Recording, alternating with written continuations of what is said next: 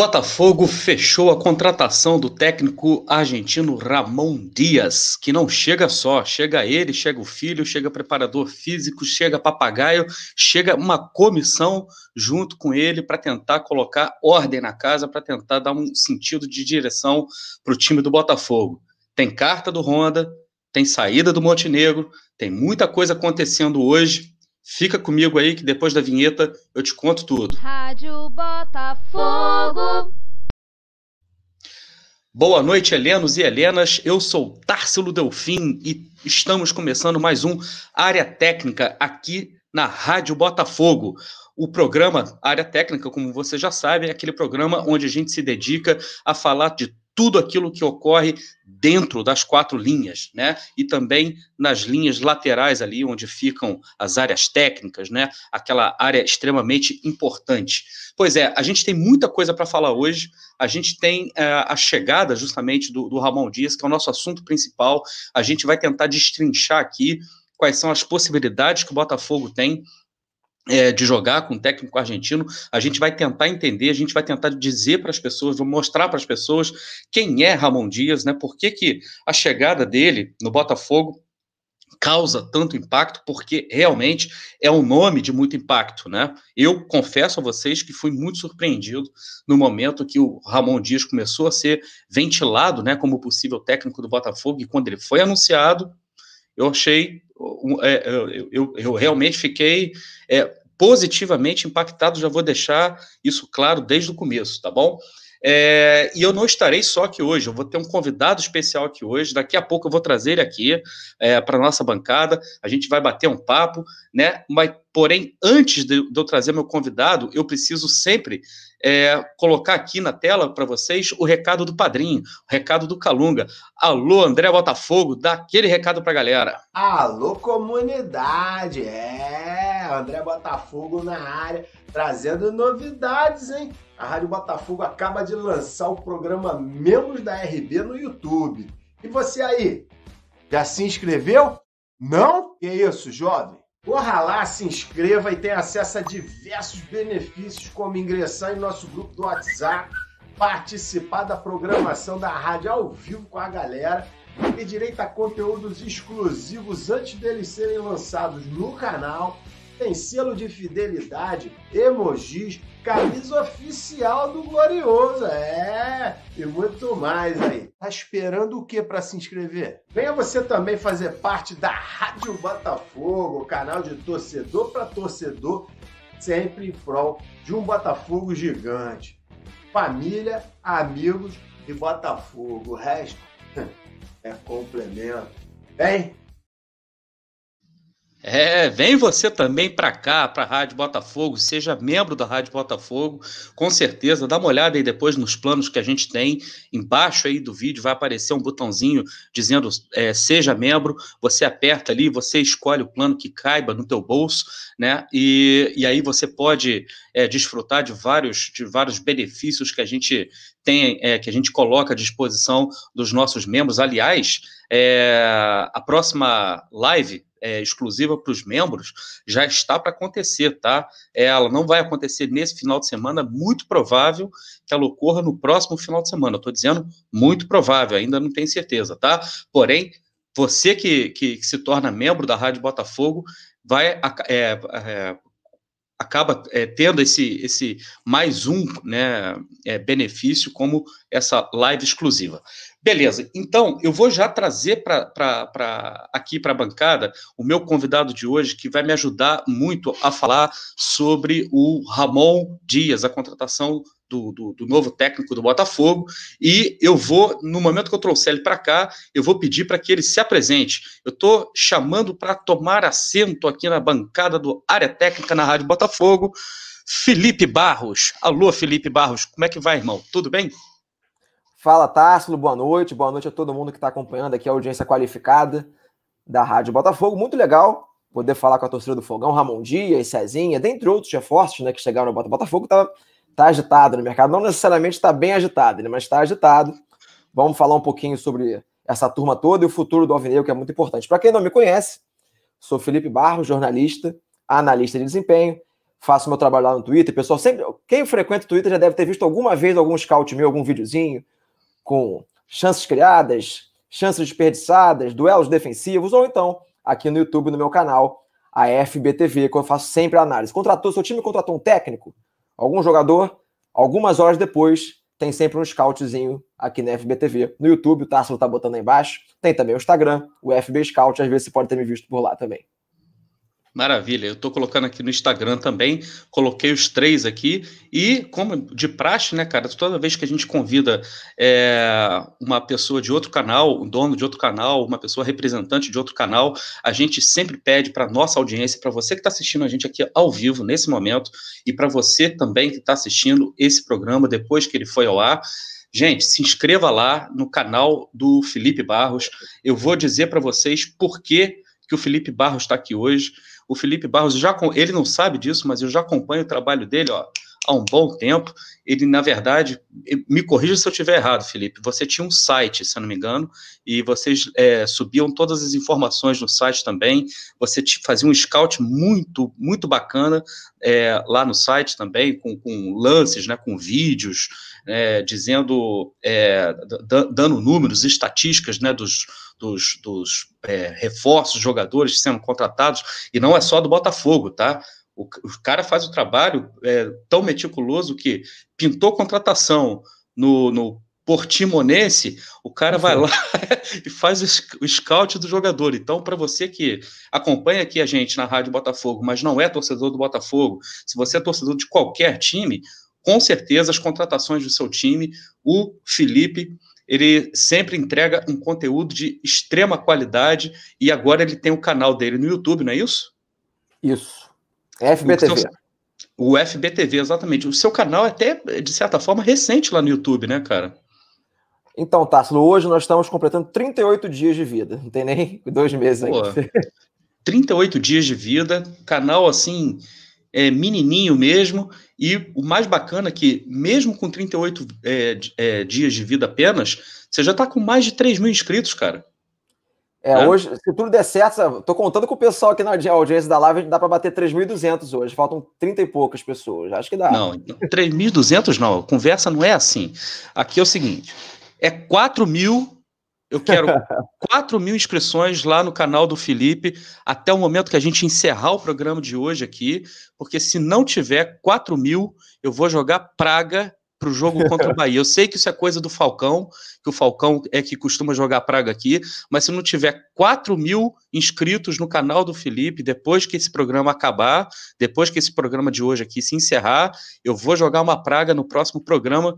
E ó, minha praga é braba, hein? A minha praga é braba. Pega, pega feio. Beleza, galera? Felipe, deixa eu dar um alô para a galera que está aqui no chat, galera que já chegou, que está dando, está prestigiando o nosso, nosso programa aqui hoje, galera que está sempre aqui com a gente. Vitor Hugo Monteiro está dizendo aqui. Fogão Net está censurando palavras de ordem contra as múmias, mídia vendida, parabéns à Rádio Botafogo, continue íntegros. Cara, é, eu, eu, não vou entrar no mérito de, de, de, outras mídias, de outros, de outros sites, não. A gente conhece o Carlos Eduardo Sargeneto, faz um trabalho também muito bacana, né? É, é, tudo depende da maneira que a gente conversa, né? Tudo da, depende da maneira que a gente que a gente fala as coisas lá também, né? É, é bom a gente sempre ter bom senso. Mas obrigado, Vitor Hugo, você que está aí. Ricardo Trajano está aqui também com a gente, já chegou é, já chegou cedo também, falando que para ele é uma ótima notícia que o Montenegro disse que está de saída do Botafogo, galera na bronca com o Montenegro. Daniel Brito, alô Daniel Brito, que está sempre aqui com a gente, que legal, estou com lembrete ativado, obrigado, RB. É, forte abraço e bom programa, ele está dizendo. Danúbio Teles, Danúbio Teles, alô comunidade. Quem está aqui na área também é o Luiz Ebert, diretamente de Nova York é um grande alvinegro que mora lá em Nova York, está dizendo, alô, torcida, tem gente enganando vocês, Montenegro não vai sair agora, não vai sair amanhã, nem depois de amanhã, ele é dono do Botafogo. A respeito disso, tá, deixa eu só pegar uma carona no comentário do Luiz Ebert, amanhã, tá, eu não sei se vocês viram, mas lá no, no, no canal do Setor Visitante, os caras fizeram uma live de quatro horas e catatal. Foi um programa espetacular, espetacular mesmo, tá? onde eles falaram, é, fizeram um histórico é, da carreira do Montenegro no Botafogo. E amanhã, olha o que, que a gente vai ter aqui na RB, ó. A gente vai falar, do, a gente vai fazer de novo o dossiê Montenegro, responsável eterno né? E quem vai estar tá no comando do programa aqui, para a galera aqui que está morrendo de saudade dele, porque eu sei que tem muita gente que gosta do cara, Flávio Dupin vai estar tá aqui amanhã no comando do programa, junto com o Raoni, que estava lá no setor visitante, o Tiago uhum. Antunes Escobar vai estar tá aqui também, e se eu não me engano, o Pedro, não é isso? É o Pedro do setor visitante? Deixa eu confirmar aqui, deixa eu ver, só um minuto. Eu acho que é ele mesmo, é o Pedro. Pedro, isso mesmo. Então, é, eles vão estar aqui amanhã falando sobre é, essa história imensa que o Montenegro tem no Botafogo, é, as broncas que a torcida tem com ele. Então, programa amanhã imperdível para você que, que quer é, entender por que, que o Botafogo se encontra na atual situação, né? por que, que as coisas dificilmente mudam no Botafogo né? É uma boa oportunidade para vocês é, entenderem isso. Petrônio Braga também está por aqui, está dizendo o dono do Botafogo é torcida, o resto é resto, meu irmão, beleza. Make dia a dia. É verdade que o Montenegro rodou, o Honda é craque até fora de campo. Te amo, Japão. Vou falar sobre o Honda também, uma coisa muito importante, que foi a carta que ele, que ele colocou, né, é, que ele endereçou ao Botafogo. Fábio Botafogo, depois que a vaca foi para o brejo, contrata, contrata o técnico. Cara, o Brejo ainda não chegou. A gente está muito perto dele, mas ainda não chegou. A contratação do técnico é evitar que a vaca afunde de vez no. Ela está bebendo água no brejo, mas é, a, a, ideia é evitar que a vaca é, se sinta seduzida a entrar no brejo.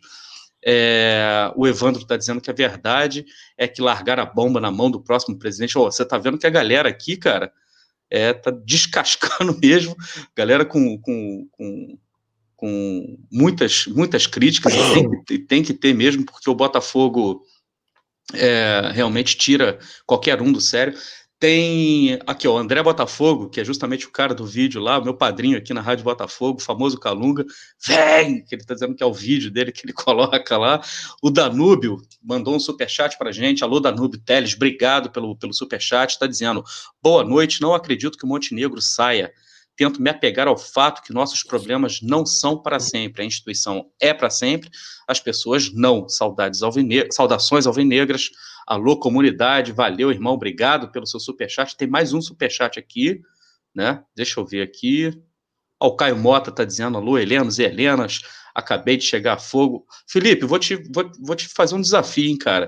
Queria ver você um dia fazer um scout do Heleno de Freitas, cara.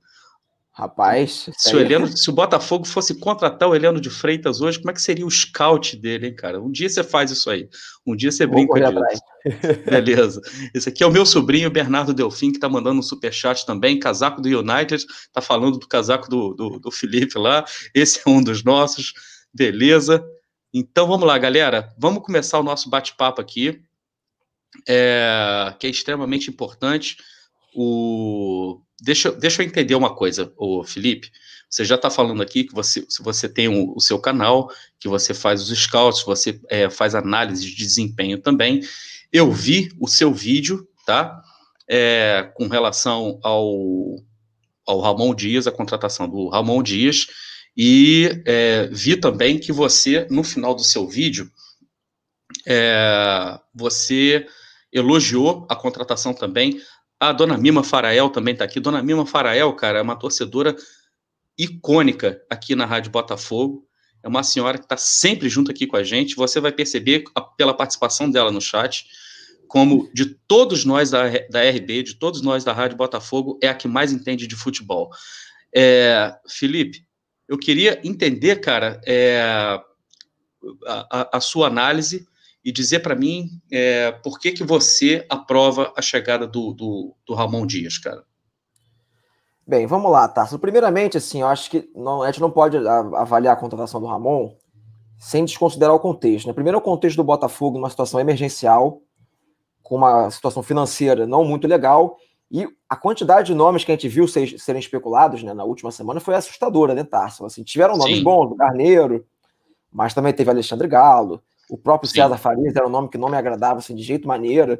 Então, o Ramon Dias, ele pode já não ser um novinho, pode ser um dinossauro do futebol, como eu falei no meu vídeo, né? Não, não sei se ele forma pejorativo, um cara já mais experiente, mas é um outro patamar de treinador, é um cara multicampeão, é campeão da América, ganhou um monte de título com comandando o River Plate, ganhou título lá no mundo árabe com Al Hilal, então assim, é um cara de outra prateleira. E eu vi muita gente falando, ah, mas o Ramon Dias não é campeão desde 2007.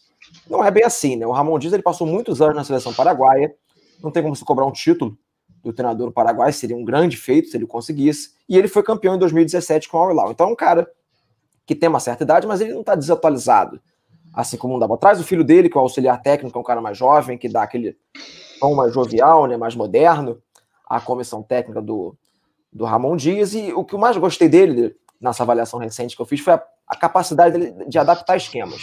Eu acho que a gente vai falar disso daqui a pouco, né, mas ele vem, Sim. nos últimos 12 meses, no trabalho no Libertar, e um trabalho no Pirâmide. Nenhum dos dois terminou em título, mas nos dois ele terminou no G3 dos seus campeonatos. No Pirâmides ele teve aproveitamento de segundo lugar, no Libertar terceiro. E no Pirâmides ele jogou de uma maneira, no Libertar de uma forma completamente diferente. Ou seja, é um cara mais com mais idade, mas é um cara que não tem a cabeça fechada. Ele consegue adaptar o esquema jogo de acordo com as peças. Eu acho que um dos esquemas que ele usou, que foi o do Libertar, tem tudo para repetir no Botafogo. Eu acho que pode, pode dar caldo, porque eu, sinceramente, acho que o Botafogo passa longe de ter um grande elenco mas também acho que ele passa bem longe de ter elenco para estar na situação que está.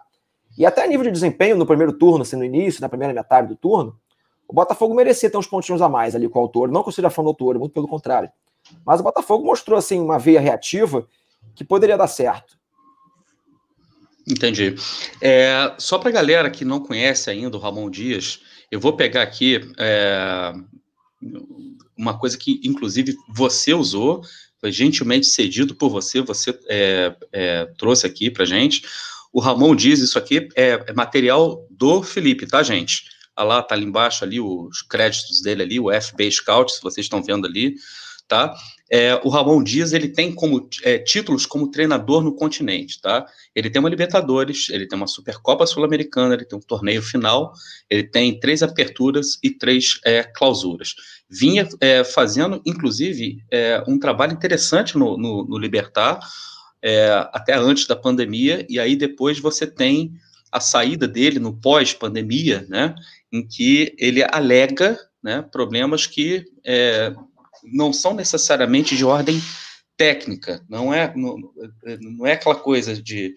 É, aparentemente parece que ele não se sentia é, amparado pela diretoria e parecia que havia algum tipo de dificuldade com o elenco tal, porém ele deixou Libertar em segundo colocado, se não me engano, no Campeonato Paraguaio, não é isso?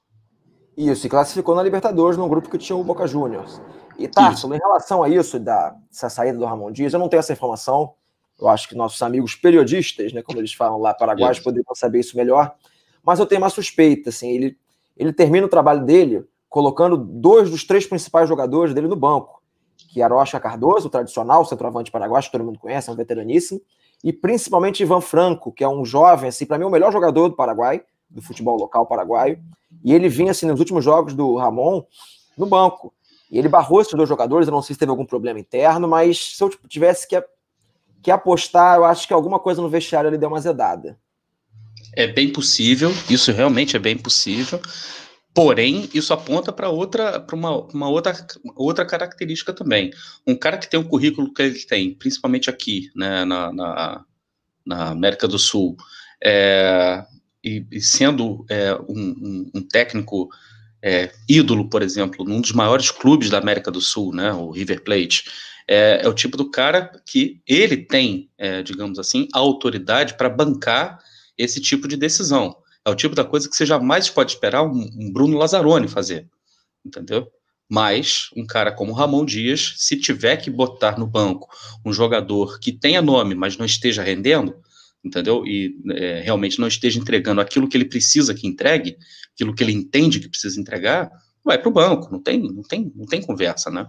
Se alguém tem essa autoridade para fazer isso, é um cara com esse currículo, né?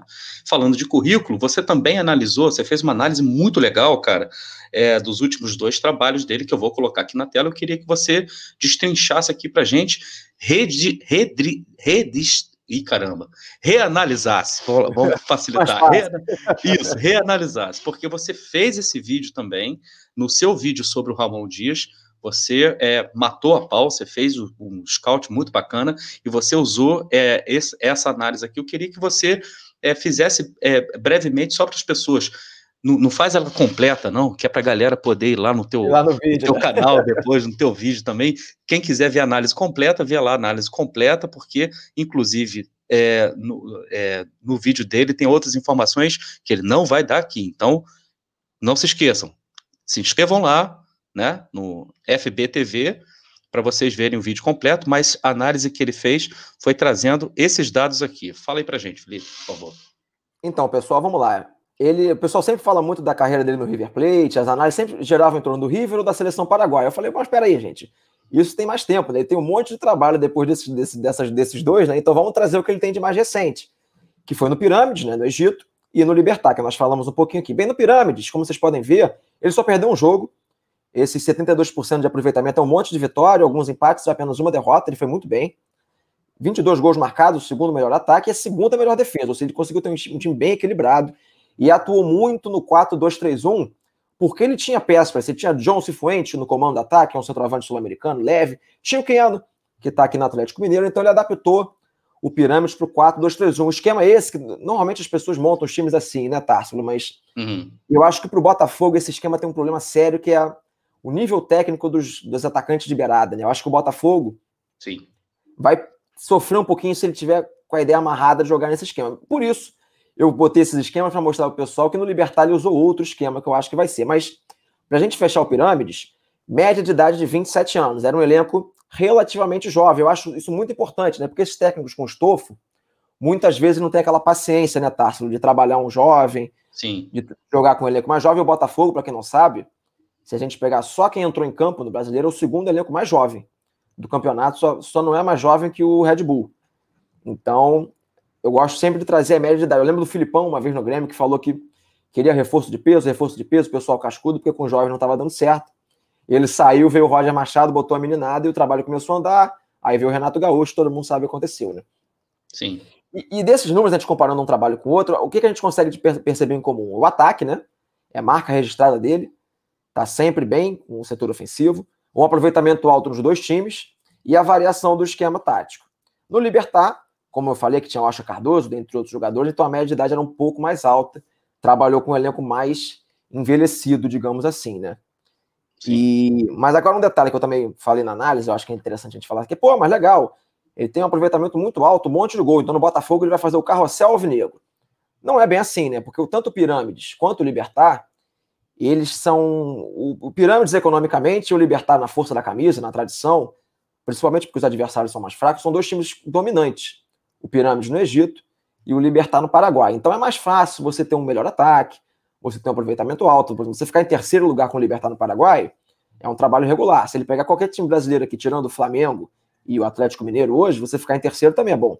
Né? Sim. Então, vamos com calma. Eu, eu fecho a minha análise falando isso, assim, que os trabalhos dele credencio Ramon Dias, mas é um estrangeiro, é um cara que vai ter que pegar idioma, vai ter que entender algumas coisas que só o futebol brasileiro tem, como, por exemplo, em março, em fevereiro acaba o brasileiro, quatro dias depois tem carioca. Isso só para quem mora aqui, né? É. Então, é. tem que ter paciência com o cara, como a gente viu essa análise do Libertar. Ele barrou os medalhões. Se ele chegar fazendo isso aqui, muitas vezes no futebol brasileiro tem biquinho, dirigente às vezes não banca, o cara, a torcida, não tá tendo torcida no estádio, né? então essa parte fica mais é. neutralizada. Mas tem que dar respaldo, tem que ter paciência. E pelos números a gente percebe né, que o cara gosta de jogar para frente. No Pirâmides ele conseguiu aliar o bom ataque com a boa defesa, no Libertar nem tanto. Foi a quinta melhor defesa, mas eu acho que é bem sugestivo para gente. Outra coisa legal que eu separei, isso está lá só no Twitter, não coloquei no, no YouTube não, mas no Twitter tem um vídeo, quem quiser ver lá também, vídeo que eu coloquei. Desde que o futebol voltou da pandemia, o Libertar, se não me engano, no comando dele, tá, gente? Depois ele saiu, teve mais jogo, mais gol. Ele fez 12 partidas, marcou 16 gols e mais, da minha, mais de um terço deles, acho quase 40%, foram todos gols de cabeça. É. Esquema 4-4-2, um monte de gol de cabeça com, com, com Ferreira e o Oscar Cardoso no ataque, grandalhões. Isso me lembra Pedro Raul e Matheus Babi, né? Exato, exatamente. É, antes de eu, de eu, de eu é, pegar esse gancho que você está falando dos gols de cabeça e como esses gols de cabeça acontecem, tá? É, deixa eu só ler o superchat de um, de um outro amigo nosso aqui, o Danúbio Teles mandou outro superchat. Valeu, Danúbio, um grande abraço, obrigado, cara. Ele está é, falando com o André, né? André, agradeço aqui em nome da torcida botafoguense pela homenagem que você fez quarta ao casal Avinegro que Deus chamou. Infelizmente, foi um casal que, que, que, acabou falecendo em decorrência do, do, do, do, vírus, né? Que Cristo os receba de braços abertos, mais duas estrelas no céu, é isso aí. A Rádio Botafogo sempre é, se lembra, né? Sempre dando é, esses recados também, principalmente nesses tempos difíceis né, que a gente está vivendo.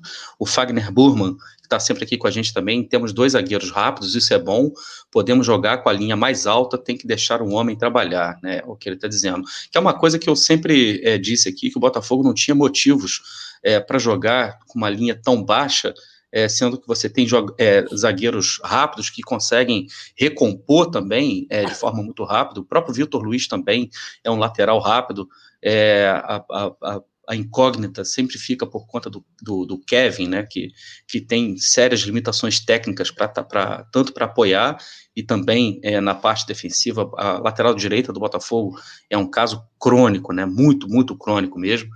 É, porém, está é, longe de ser uma zaga lenta, né? Então, é, é possível você jogar é, com a zaga um pouquinho mais alta, é possível você jogar com um time um pouquinho mais alto. O único motivo pelo qual, e a única é, é, justificativa que eu entendo, né, pela qual o Botafogo não conseguia é, fazer esse jogo mais alto, era justamente por um condicionamento físico muito ruim, né, por uma condição física muito ruim. O time do Botafogo morre aos 15 minutos do segundo tempo, o adversário engole entendeu? É, é, é, quase que uma constante, né? Quando você assiste os jogos, os jogos do Botafogo, a gente percebe isso, percebe isso acontecendo. Você concorda comigo? Você, você acha que, que é mais ou menos por aí? Concordo, concordo muito, tá? Só estava até conversando com um amigo que é Atlético Mineiro. Ele tava, pô, uhum. mas a uhum. defesa do Galo, a gente joga com linha alta, tem o Hever, é super lento, toma contra-ataque. Eu falei, rapaz, é, aqui no Rio de Janeiro é que o pessoal, o torcedor do Botafogo deu sorte que o São Paulo não bateu o olho no Benevenuto ainda, porque é o tipo de zagueiro perfeito. É. Para esse tipo de jogo com linha alta, o Canu também é jovem, tem, tem um bom porte físico, velocidade. A parte de morrer, assim, eu, eu não tenho essa, essa qualificação técnica né, para falar da parte física, mas eu, eu também fico com essa sensação, né? Eu acho que é chato criticar o profissional, mas se não me engano, o Ramon trouxe preparador físico, não trouxe?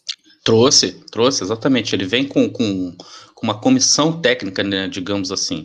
Ele chega com o filho dele, né, é, também, e, e um, o preparador físico, e se eu não me engano, tem mais uma pessoa, são quatro pessoas é, que chegam, né, é, uma, é, na verdade, o, o, Lúcio Flávio continua, né, na, na comissão é, técnica fixa, e o Túlio Lustosa, claro, porque ele é, ele é gerente, mas né, a parte física, o, a preparação física do Botafogo é do Ramon, ele está trazendo um profissional de confiança dele, tá? E, é, e também o, o, filho dele, que é auxiliar permanente dele, né? Também. Provavelmente está naquela situação ali, o cara está preparando o filho para para ser o, o sucessor Sim. dele, né? Isso é uma, uma coisa, inclusive, até bem, bem comum, né? Com, tá, você... Só eu, Claro, claro. Só para eu concluir a pergunta que você me fez, assim, em relação ao Botafogo poder jogar com linha alta, além de ter a defesa rápida, o próprio Vitor Luiz, o problema é realmente a lateral direita. Ali é um problema, não tem jeito. Teria que ir ao mercado, porque todos que estão ali não vão suprir a necessidade. Mas o Botafogo, além disso, porque para você jogar com linha alta, é muito importante que você não fique desperdiçando posse de bola, né? Porque é isso que ocasiona a possibilidade de contra-ataques e você explorar a maior deficiência de um esquema de linha alta, que é aquele hectare que você deixa na, na, no último terço do campo. Só que o Botafogo também tem meias que são, assim, não são gênios da bola, mas você tem Caio Alexandre, você tem Honda, você tem o próprio Bruno Nazário, que eu não sou muito fã, não, mas é inegável que ele é um jogador técnico. Os próprios centroavantes, o Raul e o Babi, têm suas deficiências, mas sabem reter uma bola, não são cabeçudos na linguagem de futebol. Tem o Calu. Uhum. Então você tem jogadores que você consegue manter a bola, se você quiser. Né? Então, eu acredito, Tássilo, que com o Ramon o Botafogo vai. Com o autor já muito, muito reativo, né? Acho que agora vai tentar ser um pouquinho mais propositivo, sim. É, a característica, o, o Ramon tem por característica gostar muito do time dele em cima do adversário, com muita gente chegando na área também, até porque até ele como jogador, né, ele foi um centroavante. ele gosta do gol, né? Ele tem como filosofia justamente essa ideia de que é, é, quanto mais longe você tiver do gol, mais difícil é para você fazer gol. É, que a coisa mais lógica do mundo é você estar tá mais, o mais perto possível, né, do gol para justamente é, ter justamente essas, essas chances.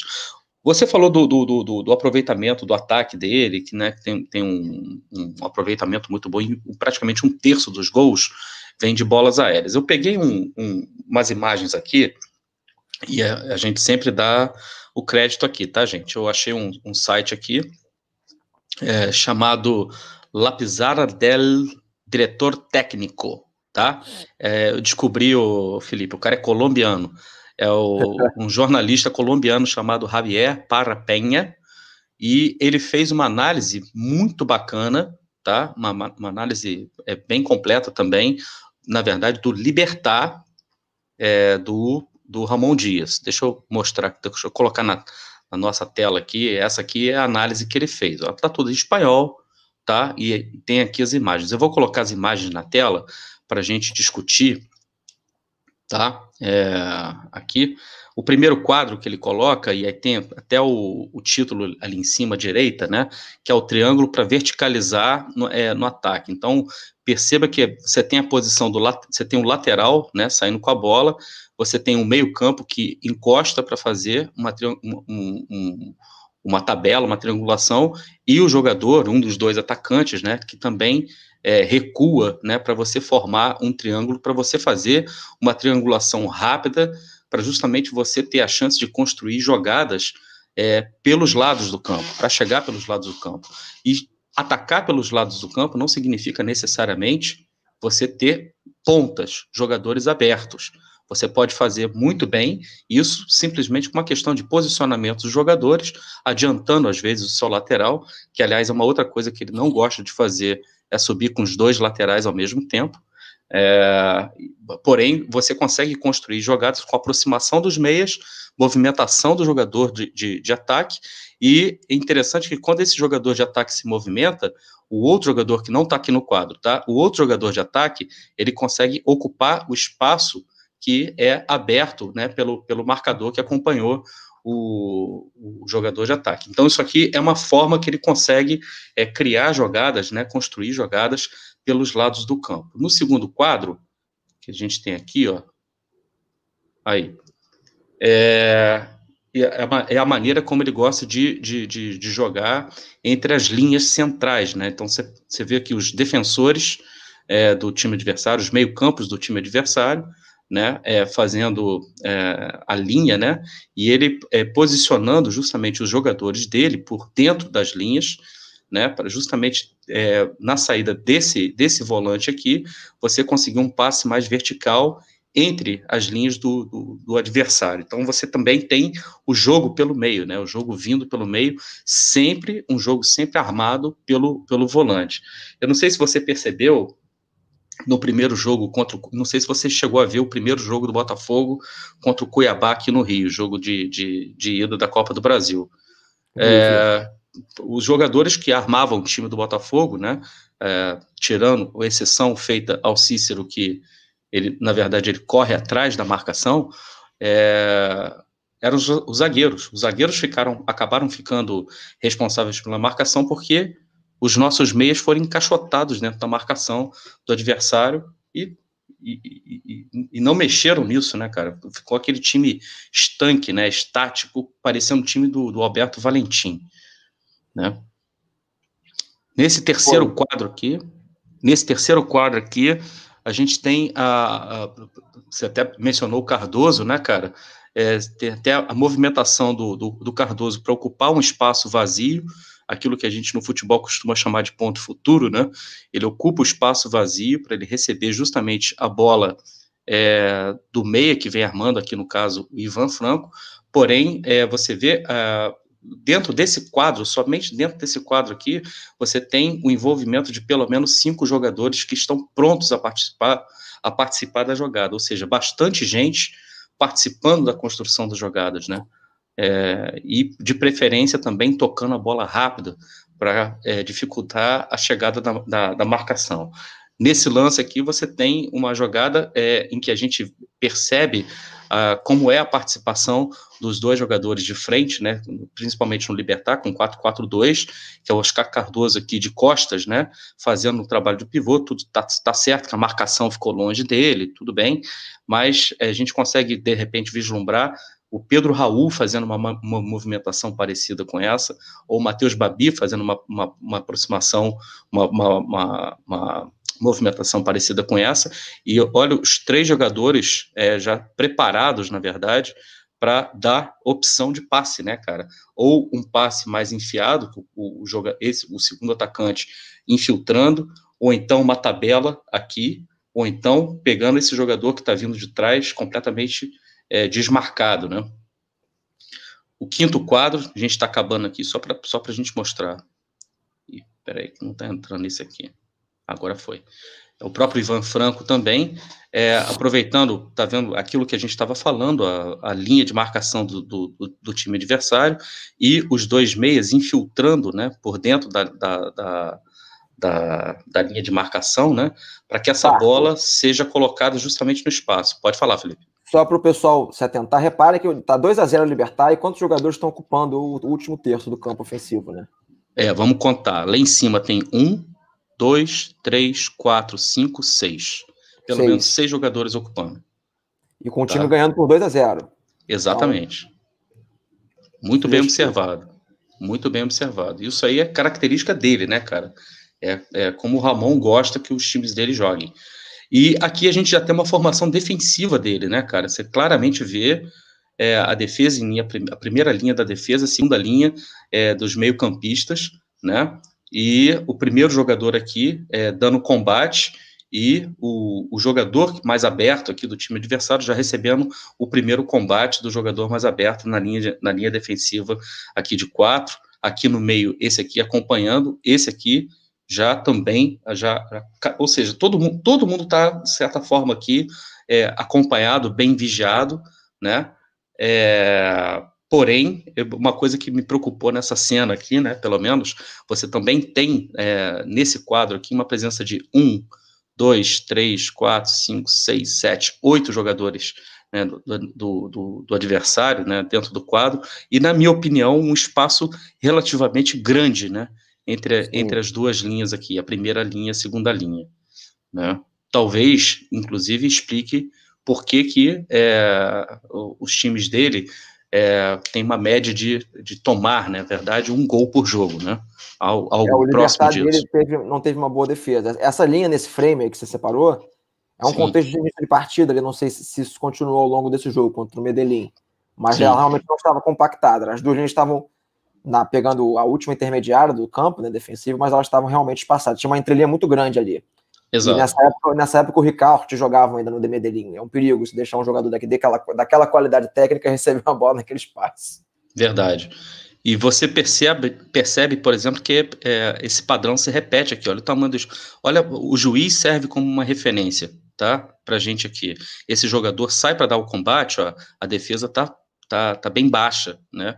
Então tem muito espaço aqui sobrando. Então essa questão defensiva pode, né? Pode ser realmente uma, uma, uma preocupação né, de tomar um gol por jogo, né, no, no, no, caso do Botafogo, que é um time que faz muito pouco gol, se pelo menos compensar fazendo muito mais gols, chegando com muito mais gente no ataque, pode ser, né, que, que, que, que, que compense, né, a questão é, com os jogadores que a gente tem no Botafogo, no, no elenco atual do Botafogo, é, você vê que o Ramon consegue conseguiria implementar a filosofia de jogo dele e aumentar, digamos assim, a, o número de gols que o Botafogo, que o Botafogo marca, contra o Cuiabá, foram 100, 200 minutos contra o Cuiabá e sem conseguir fazer gol, por exemplo. É, não, esse confronto contra o Cuiabá foi qualquer coisa, né, Tarsila? Assim, foram escolhas ruins, escalação ruim, Cícero. O Cícero estava 500 anos sem jogar e de repente pega um jogo decisivo, o cara me volta como titular do time, fazendo, jogando sem função. O Cuiabá estava todo atrás. Você colocava ele ali fazendo aquela saída grudado nos zagueiros. Sem função, né? era mais fácil você tirar ele, você ocupar mais ali o último terço ofensivo e dar mais apoio para todo mundo. Agora, pensando numa escalação harmonizada né, para o Botafogo, uhum. do Ramon Dias. Eu acho que ele vai, vai apostar numa dupla de ataque, como a gente viu nessas imagens. Ele gosta muito de fazer o pivô do centroavante participando da construção, né? Eu acho que vai ser Babi ou Raul, um dos dois, e o Calu num primeiro momento, mas não o Calu aberto, né? O Calu jogando como dupla com um, Segundo dois atacante, né? É, por dentro, eu acho que ele vai usar o Rondo e o Caio Alexandre na linha de quatro, né? O Rondo e o Alexandre por dentro, o Nazário como um meia, construtor pelo lado do campo, fazendo as vezes do que o Ivan Franco fazia. E no outro lado, eu acho que aí ele vai, já vai colocar um jogador mais de velocidade. Talvez o Weber Bessa, mas o Weber Bessa talvez acho que vai disputar mais posição com o Nazário nesse contexto, um jogador de característica mais semelhante. Do outro lado, ele vai botar ou o Kelvin, ou o Angulo, da Vera. O problema é que o Botafogo, a lateral direita e esse atleta de velocidade, você pode jogar a camisa para o alto, o pessoal pega ali, não está fazendo muita diferença, né? Normalmente quem está no banco sempre é o melhor. Eu acho que vai ficar por aí. Vão ser a linha de quatro bem definida, com Caio Alexandre, Honda, Nazário, um jogador de velocidade e a dupla de ataque na frente. Nessas imagens que você separou, é muito legal. Deixa eu fazer uma coisa. Já, já, já que você já está, é, de certa forma, até escalando o time, eu vou colocar o campinho aqui na, na, na tela. E aí, à medida que você vai falando, eu vou montando o time aqui para a galera visualizar o que você está dizendo, tá? Espera aí. Vamos lá. Campinho na tela aqui. Vamos lá. Então, aí é, é, o negócio é a gente pensar na lateral direita e nesse ponta de, nesse jogador de velocidade que vai jogar aberto, né? Tá. Eu, eu sinceramente assim, eu não sou muito fã de todos esses que estão aí, não. Mas é difícil, tá? Eu acho que talvez eu fosse com o Angulo no primeiro momento, que é um jogador mais promissor. Ele realmente não começou mal, os meus jogos dele foram bem ruins, foi expulso. Em um, no outro não foi bem mas Kelvin, Davi Araújo, eu não consigo sentir Juan. É. Difícil, então. Vamos, vamos, só para é, eu sei, é, é, um baita de um xadrez, cara. Mas vamos lá, só para a gente entender o que, que eu estou fazendo aqui. Esse aqui é o time do Botafogo que entrou em campo no segundo jogo contra o Cuiabá, tá? É, no empate de 0 a 0 E é, isso aqui, na verdade, é, é uma, foi uma forma que o Flávio Tênis encontrou de dar, de repente, dar um pouquinho mais de agressividade para o Botafogo, até porque o Botafogo estava atrás no placar pelo jogo de ida, né? Que acabou sendo 1 a 0 é, Deixa eu te fazer uma pergunta antes de mais nada, antes da gente começar a mexer na escalação aqui.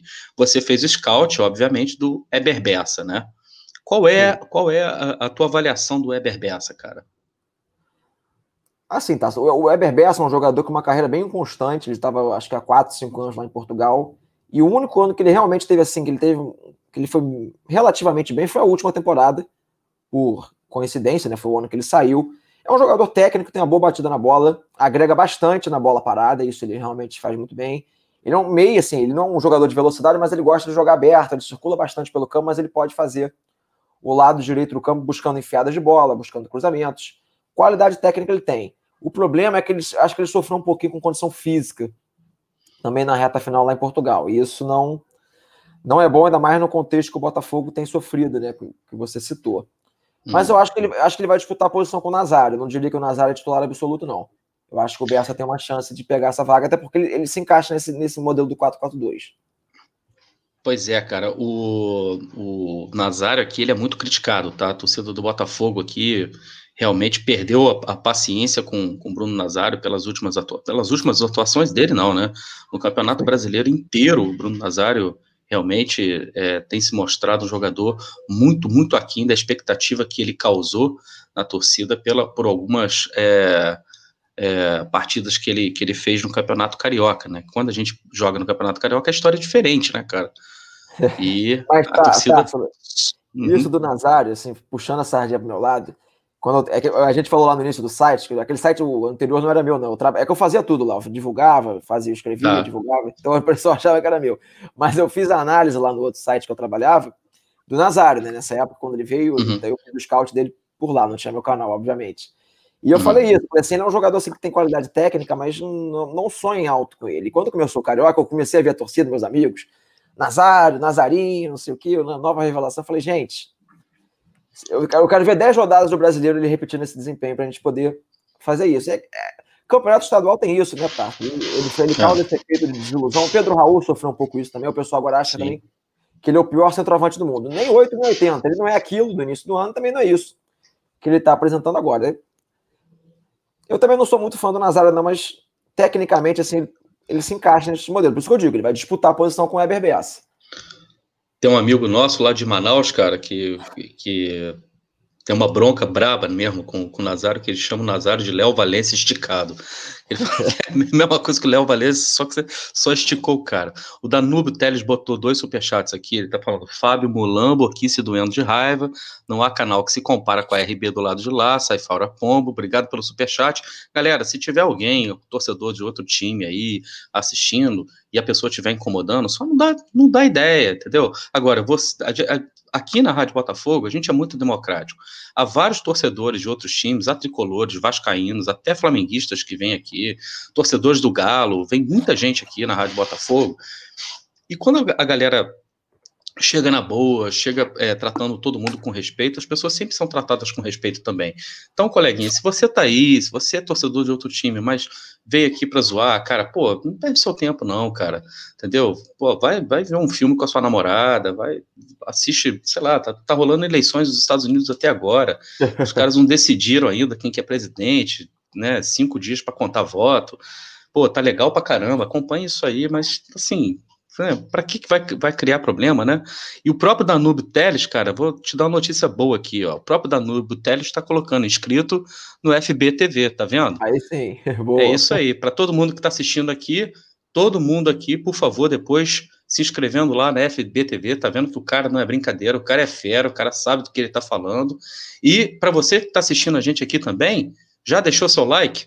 Se você não deixou seu like aqui, a gente para a live agora. A gente para o programa agora, a gente fecha tudo, vai dormir, né? Pô, não é possível. Mais de 500 pessoas assistindo a gente aqui agora, né? E quanto, deixa eu ver quantos likes que a gente está aqui nesse momento. Pô, a gente ralando aqui, né, cara?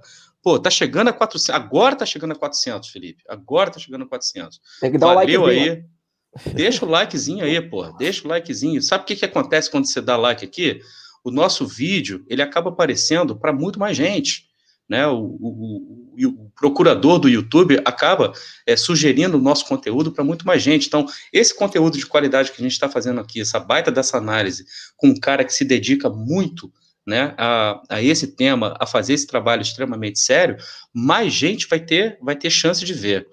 Então, cara, na tua opinião, é Berbessa, é, briga por posição com Bruno Nazário, né? Então vamos, vamos começar a montar um time aqui que possivelmente poderia ser o time do, do Ramon Dias, tá?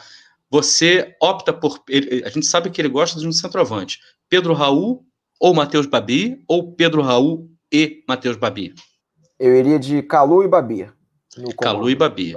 Então vamos lá, vou botar o Babi em campo, vou tirar o Raul, vou entrar com o Calu em campo aqui, porque é, Calu, a, pelo que a gente sabe, já está recuperado de uma um, essa outra, outra doença que, que acomete o Botafogo, que é desconforto muscular, e ele está de volta, o Calu está de volta. Então você faria, você acha que o Ramon poderia botar um ataque com Babi e Calu, não é isso?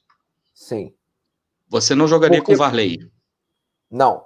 Como a gente tá. viu lá na Tarso, naquelas imagens que você separou, o, o, Ramon Dias usou muito no Libertar o centroavante como construtor de jogadas, mas não fazendo papel cerebral. Isso como a gente viu ele fazendo pivô.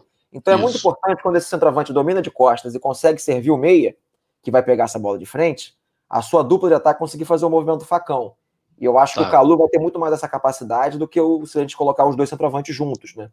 Mas assim, entre Davi e Pedro Raul, o nível técnico é basicamente o mesmo. Né? Cada semana vai muda ali. É até bom ter um rodízio entre os dois, porque o calendário vai pedir isso. Mas eu começaria de Babi. Beleza. E o Calu também se beneficia disso, né? Porque não vai precisar ficar aberto, correndo igual um desesperado, correndo atrás de lateral aqui, aberto na ponta, pelas pontas, né? Digamos assim, até porque não tem mais físico, não tem mais idade para fazer isso, né? Sim. E a, e a gente está com, tá com. Você manteria esse trio, Bruno Nazário, Caio Alexandre Ronda? Sim. Você acha que ele manteria?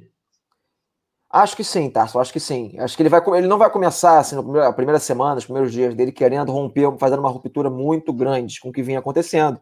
E eu sim. acho que essas peças que aí estão se encaixam, dá para ele fazer o que ele quer com eles.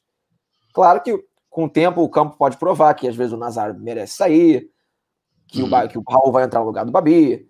essas coisas. A lateral direita joga a camisa para cima, mas eu acho que essa tríade do meio de campo do Botafogo, a princípio, ela é bem definida. Nazário, Alexandre e Rondo. Só que eu, ia, eu disporia eles numa linha de quatro, né? não, não como trinca de volante. Isso, porque tá faltando um jogador aqui. E o, qual, é esse, qual, é esse, qual seria esse quarto elemento? Um volante?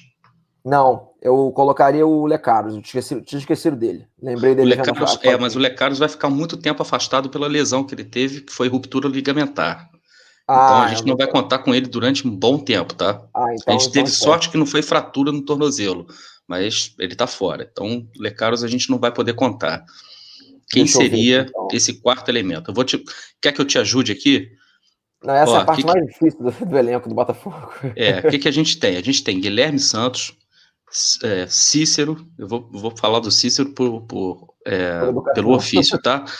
Renteria, Luiz Otávio. aliás, você acha que o Renteria se beneficia pelo fato do, do, do, técnico ser argentino, facilidade do idioma, característica do jogador? O que, que você acha? Acho que não. O Renteria, ele sim. Ele não, ele não tem qualidade técnica para estar no Botafogo, né? Mas ele foi uma indicação sim. do autor que os, esses dirigentes nossos aqui do futebol brasileiro, eles, eles escutam muito o treinador na hora de indicar, escutam um pouco o setor de inteligência, né? Aí vem o treinador, o jogador, o técnico sai dois, três dias depois, o cara fica lá e fica relegado. Mas Renteria é. não me parece ter a qualidade de jogo que o, que o Ramon vai usar, não. Só para eventualidades, segurar resultado, final de partida, mas. Outras duas, outras duas possibilidades, então, pelo meio seria Foster, continuar improvisando Foster, o que eu acho difícil que ele faça, tá? E Zé Wellison, né? Que seriam o, o, o volante caso é, a gente entenda aqui que ele, que ele queira jogar com, com, com mais um volante. Agora, se não for o caso, tá? É, aí começam os jogadores de frente. Davi Araújo, olha só como é que, como é que são as coisas. Davi Araújo, Juan, Kelvin, o próprio Bessa que você mencionou, o Angulo e Varley. Eu, cara, eu concordo gênero, número e grau com o que você falou. Joga a camisa para cima, qualquer um que pegar né, desses aqui que a gente falou, estão é, mais ou menos no mesmo nível e o nível não é bom. Mas então, a gente tem que botar mais um jogador em campo, cara. Eu pensaria que eu teria, duas, eu teria duas opções de variação. Assim, eu, preferencialmente, tentaria usar um canhoto pela esquerda e um destro pela direita para tentar explorar muito a linha de fundo. Porque Sim. eu acho que é uma coisa que o Ramon vai querer usar. E com, o Calu é aquele centroavante, mas ele tem porte físico, sabe fazer gol de cabeça, e o Babi não precisamos nem falar. Se ele adotar, se ele quiser um destro, quiser um canhoto pela esquerda e um destro pela direita, eu colocaria ou o Juan. Rapaz, falar isso a torcida vai me matar, né? Mas eu colocaria cara, o Juan. Eu ia, eu ia pedir para você evitar, evitar a fadiga, cara. Ah. É, então. Eu, mas não tem muito jeito, gente. O elenco seria o Juan ou o Angulo pela direita e o Nazário uhum. na esquerda. Se ele quiser variar com, a, com os pés, eu puxaria o Nazário para a direita e colocaria o Guilherme Santos fazendo uma dupla com o Vitor Luiz lá na esquerda. Então, na segunda linha. Isso, é, é, o Guilherme Santos foi muito utilizado nessa função pelo próprio Autuori, mas isso porque o Autuori já conhecia o elenco, já conhecia inclusive os dois jogadores. Aliás, as melhores atuações do Guilherme Santos, embora ele seja lateral esquerda, não foram como lateral esquerdo, foi justamente jogando mais aberto. É, o Guilherme aqui... Santos ele tem, ele tem uma deficiência na parte. Ele tem muitas deficiências, né, mas na parte defensiva é mais gritante. E ele ainda tem um cara com um bom físico. Então, se ele jogar com uma certa liberdade para poder explorar o fundo, pode uhum. render. Então, tentaria ou essa opção que você colocou agora. Se ele quiser usar um destro pela direita, aí eu colocaria qualquer um desses pontas destros. Talvez o Varley também, pode ser. Varley, o, Varley é que, que já jogou como lateral direita, né, cara, lá no, no CSA, não, não é isso? Ele, a origem dele é como lateral. É. E no Botafogo ele não foi utilizado como lateral, tá? No Botafogo ele só foi utilizado justamente é, jogando aberto. É, Bessa no lugar do, do Nazário pela direita, você acha que, que, que, poderia ser uma opção também? Poderia ser uma opção, poderia ser uma opção de um jogador desta, é verdade. É, é que eu, ou... eu não acho que ele vai começar por isso, mas com o futuro pode ser. É, ou então ele pode, se ele não quiser improvisar, digamos assim, o Guilherme Santos na direita, ele jogar com esses quatro. Bessa, Nazário, Caio Alexandre e, e Honda. Você não essa temeria. Opção, ah. Essa opção, Tarso, ela é razoável, só que eu acho que essa aí vai deixar o time muito lento. Muito lento, exatamente. É. E você não acha que isso deixa também a defesa muito exposta, porque nenhum desses quatro jogadores aqui, em tese, né, tem como característica principal a força na marcação? É, então, não deixa. Por característica, não, mas é aquilo que a gente está falando. Para você jogar com essa, com essa, formação, seja lá quem vai te colocar na ponta, né? qualquer um daqueles que a gente falou, você vai ter que propor o jogo. Se você Sim. jogar com a bola no seu pé, no campo de ataque, eu, tento, eu tentaria sempre privilegiar a equipe mais técnica possível para você não perder a bola. Porque nesse elenco todo do Botafogo também, o único cão de guarda que dá para botar no meio de campo aí e ter efetividade na recuperação é o Zé Wellison. Sim. O Renteria tem por características, são cão de guarda, mas ele rouba menos bola que o Honda na temporada. Eu fiz esse scout outro dia lá no meu Twitter. Então, não adianta nada, o Luiz Otávio também tem essa característica, mas é pior ainda que, que todos esses. Sim. Então, poderia colocar o, o Zé Wellison no lugar do Caio Alexandre, mas você perde muita qualidade com a bola no pé. Mas é característica do, do, Será que é característica do Ramon jogar justamente com esse cão de guarda? Se ele gosta de jogar em cima do adversário, cara? Que não, eu acho que não. Por isso que eu tirei o cão de guarda desse, desse esquema. Isso, exato. E é, tem um outro, um outro detalhe aqui, uma, um outro jogador que eu queria te perguntar. Você também fez o scout do Cascardo, né? Fiz. Na sua mas opinião. Esse não, esse não, chegou a ser no, no, no, YouTube, esse foi no Twitter, mas eu fiz. Tá, então você tem Cascardo, é, Kevin e é, Barrandeg, né? Eventualmente Barrandeg. O é, que, que, que você acha?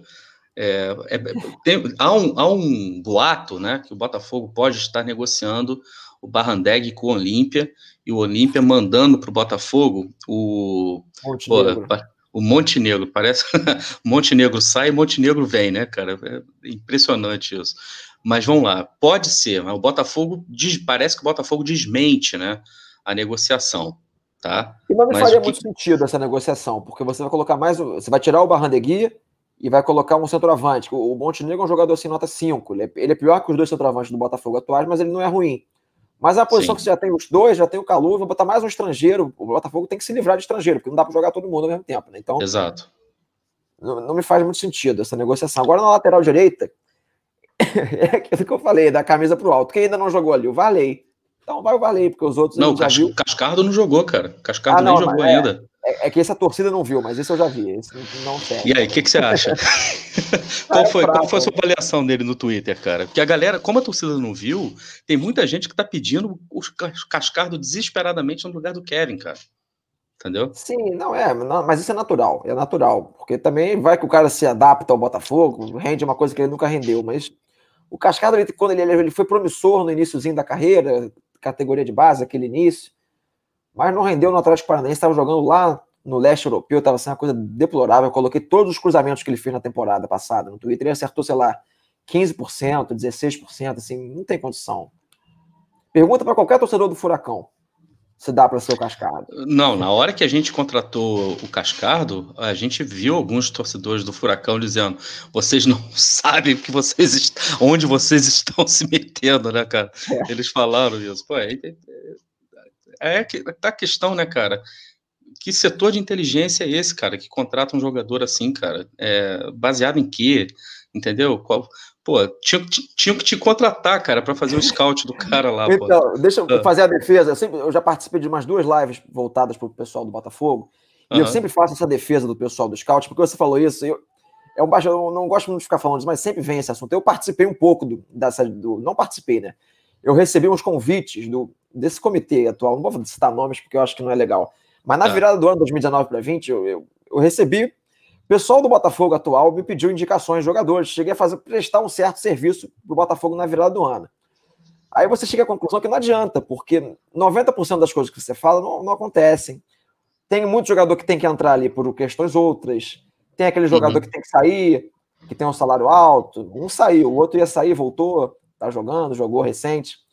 Aí o empresário dele tem que botar tantos jogadores no elenco. Aí você fala: não, mas esse jogador não tem cabimento, eu tô fazendo a inteligência, porque você me contratou para fazer isso. Ah, não, mas esse tem que ir. Tá bom. Aí você vem com o nome. Ó, esses aqui são bons. Ah, não, esses aqui não tem dinheiro, esse aqui o empresário tal quer botar o cara aqui. Eu vou te dar uma lista e você indica dentro da minha lista, tá bom? Mas fica. Mas não faz sentido. e foi assim que foi é. parar um monte de gente desse elenco aí. Por isso que eu, vários eu tô falando que não tem condição, eu falo até já com uma certa tristeza, porque eu falei isso antes para quem contratou. é impressionante, cara. É impressionante. Mas isso que você está falando, a gente, a gente conhece bem os bastidores do clube, a gente sabe exatamente como é que como é que as coisas são, né? Como é que as coisas funcionam lá. Infelizmente, no Botafogo, nada tem transparência. Né? Tem esse detalhe também, entendeu, cara? Então, isso é mais um complicador é, ainda, né, cara? Por exemplo. É, em relação à lateral direita, Tarso, só um. Uhum. Desculpa te interromper. É, eu tinha indicado esse nome e eu vi que ele foi, ele foi, quando fiz até o scout dele, saiu hoje no meu canal, do Mailton. Ele foi emprestado para o Curitiba pelo Atlético Mineiro, foi uma negociação super simples, que andou super rápido, super acessível. Quando eu vi isso, eu falei, eu falei até na minha análise, tem muito time lá do, do, do eixo, time lá até do G4, que o Mailton chega e escolher a camisa. e foi assim. É, e assim, é, essa história da lateral direita no Botafogo não vem de agora, cara. Ela já vem. Ó, é, a gente tinha o Marcinho na lateral direita, que Deus sabe lá como chegou na seleção brasileira. É, o Fernando, o próprio Kevin, entendeu? Que, que, que, chegou, agora o Cascardo. Então, assim, parece que as contratações que são feitas para lateral direita do Botafogo são para não resolver o problema. A galera tá falando aqui no chat, tem uma, uma coisa que é, que é até interessante, a gente viu isso nos dois jogos contra o Cuiabá o lateral direito do Cuiabá é muito melhor do que qualquer lateral direito do Botafogo, cara. O Rainer é excelente jogador. O Rainer, você entendeu? Então, assim, é, por que, que o Cuiabá consegue detectar esse cara no mercado e o Botafogo não consegue? Você entendeu? Sim. E, será, sei lá, será que o Rainer é, é muito mais caro do que o Kevin? É muito mais caro do que o Cascardo? Não, não, mas o Kevin, não. ele tinha que ele tinha que estar tá lá para poder acontecer outras coisas. Não, a gente sabe disso. O Luiz Otávio, por exemplo, vai renovar contrato com o Botafogo. Sabe por quê? O Luiz Otávio tem que renovar contrato com o Botafogo, porque o Guilherme Santos também vai renovar. Então a gente, a gente sabe Aí, como são essas coisas. É o que eu falei, eu participei do dia da live, acho que foi do, do Elton Arruda. Eu falei, gente, sempre que vier um jogador desses inexplicáveis pro seu time, antes de meter o pau no pessoal da inteligência, às vezes eles erram também. Uhum. Mas sim, faça um exercício. Vai, o Transfer Market normalmente tem um site referência. Vê Isso. quem é o empresário do jogador, vê no seu time quantos jogadores desse empresário tem, vê se tem alguém desse empresário que está precisando sair, que está precisando chegar, contrapeso. Faz esse exercício. Normalmente você descobre porque as contratações acontecem. É, não, a, a gente sabe exatamente que, do, do, que se trata, cara. A gente sabe como essas coisas acontecem. O problema é que depois a, a, a bomba estoura é, numa folha salarial extremamente inchada que o clube não consegue honrar é, jogadores entrando na justiça, jogadores assim, sem expressão nenhuma, tá? Entrando na justiça, né, contra o, contra o, contra o clube, gerando o passivo, e a gente consegue entender por que, que o clube hoje deve um bilhão. Porque é isso, né, são essas políticas extremamente equivocadas, né, de você nunca ter cuidado da sua base, de você nunca ter estruturado o clube, entendeu? E é por isso que a gente é, vive falando que o Botafogo, é, as histórias no Botafogo, mesmo que aquilo que é, muito difícil dissociar o, o extracampo de dentro do campo. O dentro de campo, na verdade, é o reflexo daquilo que é feito né, no, no extracampo. E são 40 anos né, com as mesmas práticas, são 40 anos com a mesma filosofia, e, e de, de, um clube que realmente parou no tempo, cara. E, e, as pessoas, a torcida do Botafogo, na verdade, acaba sendo muito refém disso. E, e a gente fica meio que de, de, de mãos amarradas, né, cara? De mãos atadas, porque o que, que, você vai fazer? A não ser que a torcida toda se torne sócio contribuinte as pessoas, ou sócio proprietário, as pessoas começam a se candidatar, mas dificilmente né, esse é um caminho que prospera porque lá dentro né, tá tudo dominado. Então é sempre o é. mesmo grupo que vai se perpetuar no poder, cara. A gente já sabe como as coisas funcionam é, no Botafogo. É, deixa, eu, deixa eu dar uma moral para o pessoal que está aqui no chat, é, conversando com a gente aqui. A dona Mima está dizendo: o empresário do Rainer é fechado com os dirigentes. Se, se não for, não serve. Estou te falando, dona Mima Farael. Está é, tá dizendo aqui: se o empresário do Rainer não for fechado com os nossos dirigentes, esquece, ele não vem. É, Daniel Brito, vocês esqueceram do Lucas Barros e do Yuri. A gente esqueceu porque a gente tem memória seletiva. E isso às vezes faz bem para a saúde. É, o Rainer está dizendo aqui, Rainer seria titular absoluto aqui, lateral direito aqui, dói na alma, exatamente, para um time que já teve Josimar jogando na lateral direita, naqueles áureos tempos, né, cara, que não precisa nem muito longe, você pega em 95 o próprio Wilson Goiano, que não tinha, é, não era o primor da técnica, né, nada disso, mas é um cara que é, é, não, não, aceitava perder, né, cara, não aceitava, jamais aceitou perder. É, sócio contribuinte, não se candidata, só voto. Esse é o nosso amigo Bruno Antunes, lá de, de Juiz de Fora, né? Tá dando esse recado aqui pra gente. É, pelo amor de Deus, assinem e divulguem a petição. Pois é, galera, a gente está com a petição aí, tá na, na, na, na, na descrição do vídeo depois aí, todo mundo, a galera já conhece o caminho. Por favor, assine aí todo mundo. Leandro Damião, é, Tiago Rodrigues está dizendo, Leandro Damião e Bruno Henrique saíram da várzea. Tem cara melhor aí do que em muitos clubes profissionais, falta olheiro. É, cara, é, sistema de scout no Brasil, a gente estava até conversando sobre isso nos bastidores, né, cara? Antes da gente entrar ao vivo aqui, a gente estava falando do, Você tá com a jaqueta do, do, do United, né, cara? Eu sou muito. Eu, eu, eu, eu, sou torcedor do United lá na Inglaterra, fui sócio torcedor do United na Inglaterra. É, e acompanhei a carreira toda né, do, do Alex Ferguson lá. Uma das coisas que ele fez que revolucionou o clube lá na verdade, foi é, o sistema de scouts, né, cara, que ele tinha é, olheiros no país, na Inglaterra inteira, no país inteiro, na Escócia, na Inglaterra, no País de Gales, é, tanto que o, o, o, Ryan Giggs foi um jogador descoberto dessa forma, né, é, no resto da Europa inteira, depois começou a espalhar pelo mundo. Por que, que os clubes brasileiros, caras, não, não, não fazem é, esse sistema é, aprimorado de, de, de, de, olheiros, né, cara, de scouts, para descobrir justamente talentos de jogadores assim que estão escondidos, porque a gente sabe que tem muita gente boa que não chega nos grandes centros, né, cara, porque não, nunca vão ser descobertos, né, cara? É interessante isso.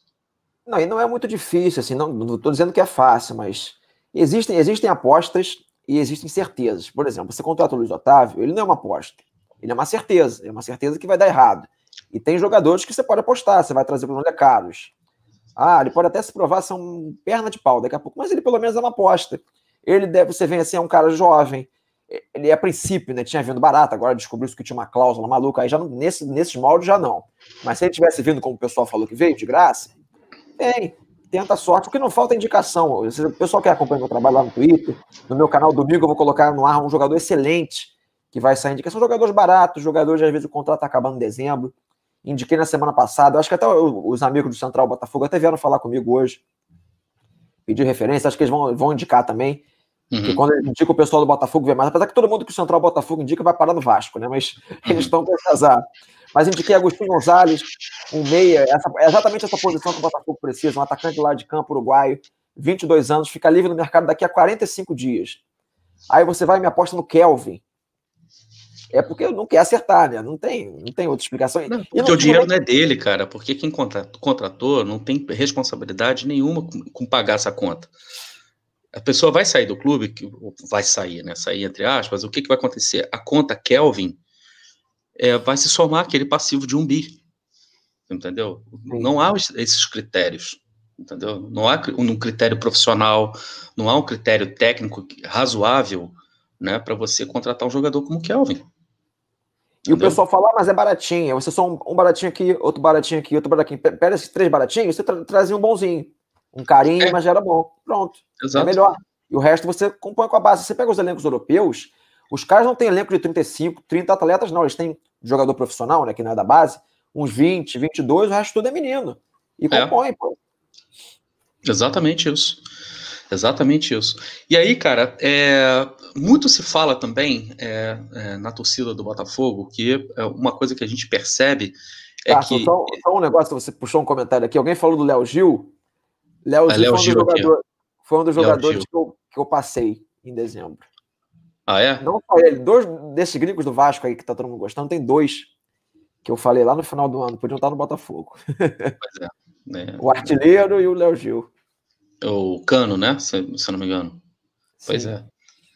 E, bom, e uma, uma das coisas que a, que a torcida do Botafogo reclama muito, principal, principalmente desse time, e que é, é uma coisa que eu acho que o Ramon é, vem, é, inclusive, suprir essa lacuna, é a questão da liderança. O Botafogo hoje é um, é um, é um clube sem liderança, tá?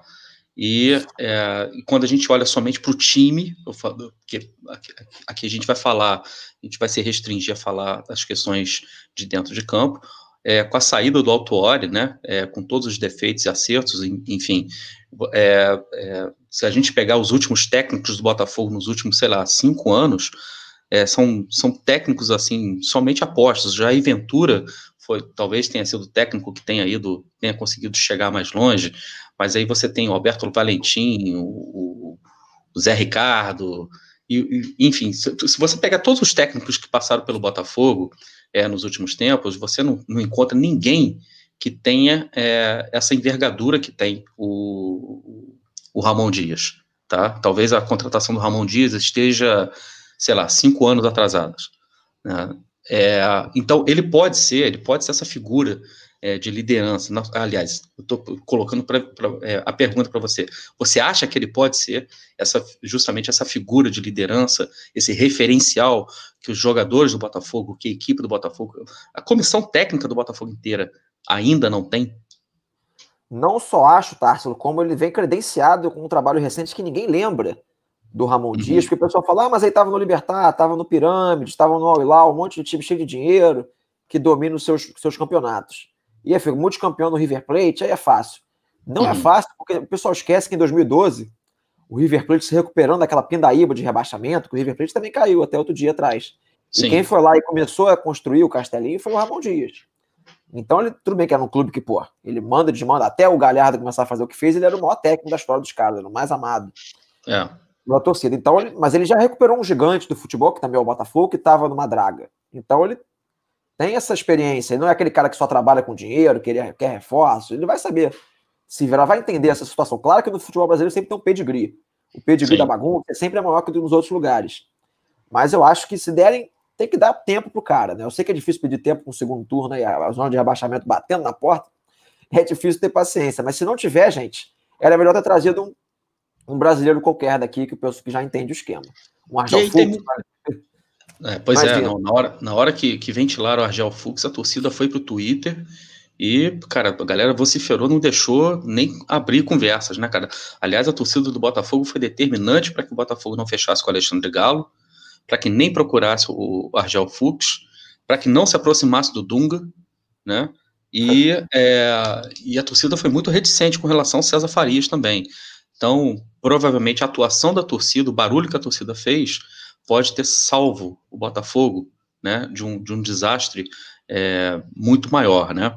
E muita gente faz uma comparação do Ramon Dias com técnicos brasileiros que têm mais ou menos a mesma idade e que são muito vencedores no Brasil, porém que nesse momento na carreira deles já se encontram no ocaso, que é o caso do Abel Braga, que é o caso do, Luxem, do Luxemburgo. Você vê alguma coerência, cara, nessa, nessas comparações que as pessoas fazem, cara, desses técnicos? Bem, eu acho que essa preocupação é pertinente. Assim, claro que a idade, assim, não vamos ter preconceito com a idade. Tem muito treinador experiente que se mantém um bom nível. O, maior, Mas... o melhor time do mundo no momento, o treinador é bem, bem idoso, né? Que é o Bayern. É, o Wilp Heinz, ele ganhou tudo no Bayern de Munique, na, é isso aí. naquela temporada lá mágica dele, pré-Guardiola, e mais idade que o Ramon Dias. Então, assim, tudo bem que não é todo mundo, tem um treinador realmente experiável. Tanto que você citou vários, aí, Abel Braga, uhum. o próprio Tuori, Luxemburgo. Tem alguns que, que vão, a idade vai e a atualização não vem, né?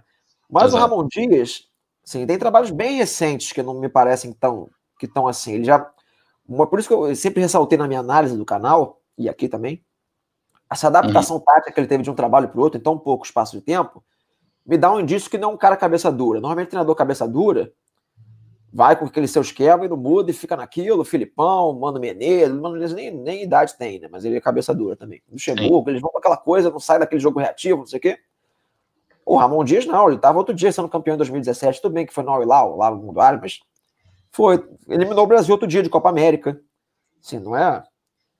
Eu acho que sim, essa preocupação é pertinente, mas eu não tenho por que crer nisso. No Ramon diz, claro, pode chegar aqui e a gente vê, putz, não deu, realmente. Mas quais são as outras opções? Não, se, se, a, se, a, questão é apostar, né, cara? Se, se é. a, diretoria gosta tanto de apostar, então que faça uma aposta que tenha mais chances de dar certo que de dar errado, né, cara? É, por isso que no começo do programa, na hora que eu abri o programa aqui, eu estava falando que eu fui surpreendido quando o anúncio do Ramon Dias foi feito. Quando, na verdade, quando começaram a ventilar a possibilidade do Ramon Dias ser contratado, eu fiquei surpreso porque não é o padrão dessa diretoria, não é o padrão de contratação dessa diretoria. Entendeu? O César. Faria seria, o, o Alexandre Galo seria, entendeu? Mas o Ramon Dias não. E eu fiquei bem surpreso e positivamente. Eu confesso a vocês, e eu, eu já, já assisti todas as lives de todos os outros canais.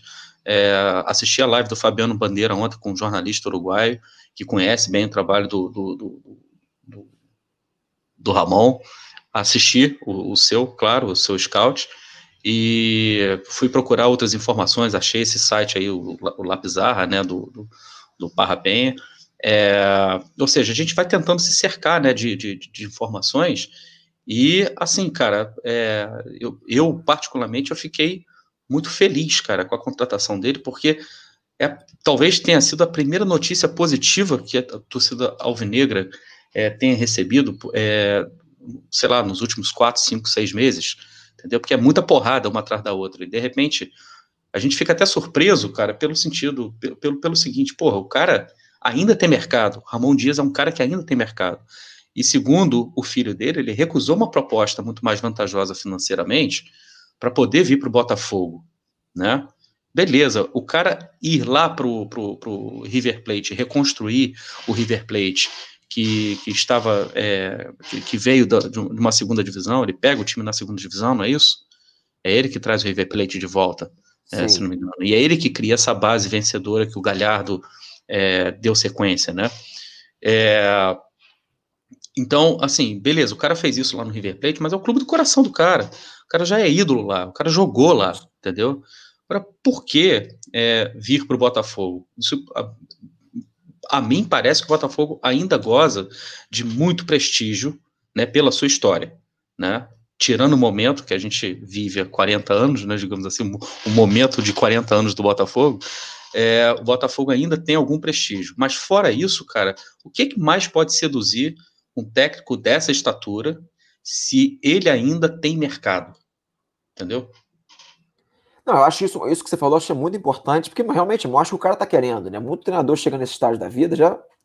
E com toda razão, muita justiça também, se quisesse pegar um trabalho mais fácil, uma coisa com menos pressão lá no mundo árabe, que eu acho que essa era a proposta que ele tinha, né?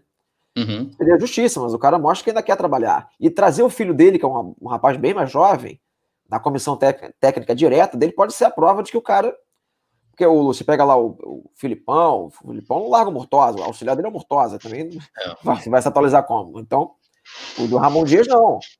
É um filho dele, um cara mais novo, às vezes o cara tá. Às vezes quem até comanda, né? Na seleção brasileira em 2000 e, na Copa de 2010, diziam que quem comandava era o Jorginho, né? O Dunga era só uma figura.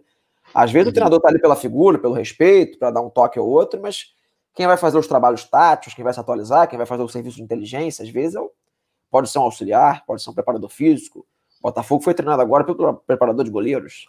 Exato. Que é um excelente preparador de goleiros, né, cara? É um dos melhores profissionais do Brasil, né? É, o Flávio Tênis é um cara espetacular. Ele é uma ilha no Botafogo, né, cara? A gente costuma dizer. O Flávio Tênis é um profissional, assim, que é, é, é mesmo pegando é, goleiros assim que, que já tinham um nível muito bom, como é o caso do Jefferson, ele conseguiu fazer o Jefferson melhor, né?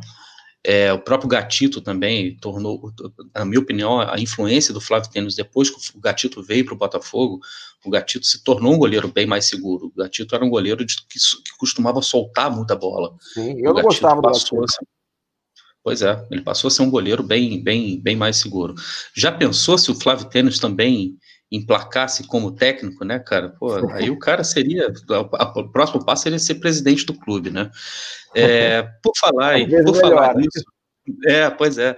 Por falar nisso, cara, é, e aí eu vou querer sua opinião com relação a isso aqui também. A gente teve é, hoje, né, uma publicação de uma carta do Honda, que na verdade foi, foi uma, uma, sequência de vários é, tweets, né, que ele fez, e é, isso chama, me chama muita atenção, porque a gente está falando da carência de uma, de uma liderança, a gente sabe que o Honda não consegue falar português, ele provavelmente arranha o italiano, o espanhol, eu sei que ele está estudando português também, e naquele momento ali de calor do jogo, então no vestiário, você precisa que o cara fale alguma coisa, você precisa que o cara chegue junto, e aí a barreira linguística pode realmente fazer diferença, mas o que ele publicou hoje vai talvez vá bem além né, é, daquilo que eu estava falando no começo, da questão do, do, do, das quatro linhas, né? Ele diz que, é, vou pegar alguns trechos aqui da carta dele, né? em que é, a carta dele é para todos que amam o Botafogo. É claro que ele está é, se referindo também ao momento extremamente conturbado né, que o Botafogo vive. É, algumas perguntas que ele faz. Antes de tudo, Botafogo é um clube de quem? É um clube de ricos investidores ou patrocinadores? Não. Não é o clube de empresários que vão embora quando as coisas dão errado, nem de algum estrangeiro como eu, que vai sair depois de certo período. É um clube de todos que amam e apoiam o Botafogo desde que nasceram e que mantém vivo esse amor, mesmo em situações desfavoráveis como a que vivemos agora. É o clube de todos. Então, todos juntos precisamos fazer o clube ficar mais forte, o que reflete bastante a cultura é, do, da qual ele, ele advém, né? Por ser japonês, existe uma, uma um apreço muito grande pelas coisas coletivas, né, cara, pelo, pelo, pelo a, das pessoas realizarem coisas de uma forma muito coletiva, dividirem responsabilidades e, e deveres, né, é, e aí ele ainda dá algumas sugestões aqui. Então, como o clube aumenta a receita e quem pensa e decide sobre um plano de médio a longo prazo o mais importante é isso. O clube não pertence a um ou um, um grupo de pessoas. O Botafogo é de todos os torcedores, então todos juntos devem pensar e decidir.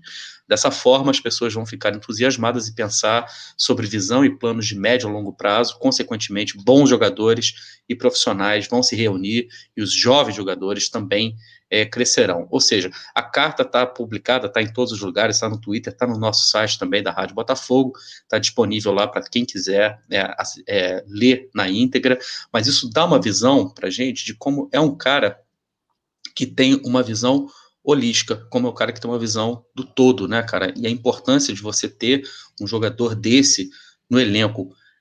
Como é que você faz quando você tem um jogador como Honda, e mesmo que ele não esteja rendendo tudo aquilo que a torcida espera, né? Mas como é que você faz? Você barra um jogador desse, cara? É possível barrar um jogador como Honda? Como é que o Ramon vai, na sua opinião, pode lidar com Honda?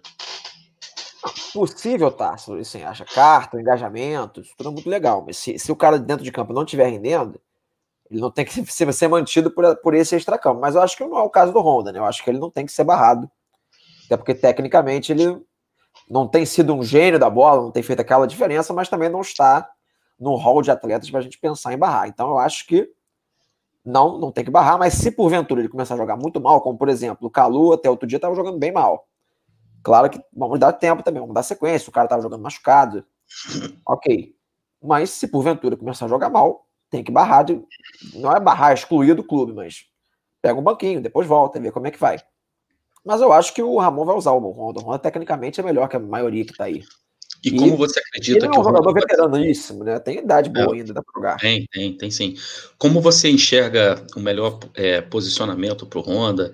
A gente tem uma, uma, disputa eterna aqui na Rádio Botafogo, e a torcida do Botafogo também argumenta muito isso. A galera não gostava do posicionamento do Honda com o Altuori, e também não gostava depois que. Também reclamaram bastante depois que, que o Altuori saiu, que o Honda, ah, enfim, passou a jogar mais adiantado e é, pelos mapas de calor que a gente tem do Honda, né, que, que inclusive a gente pega lá no SofaScore, é, é, a gente percebeu que o Honda, na verdade, não passou a jogar mais adiantado, ele passou a jogar com muito mais liberdade, digamos assim.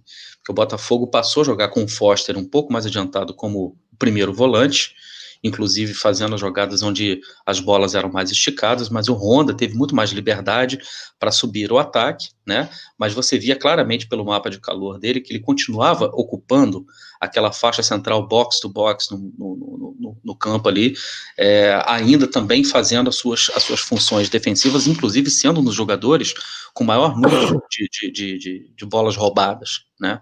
É, do, de todo o meio campo do Botafogo.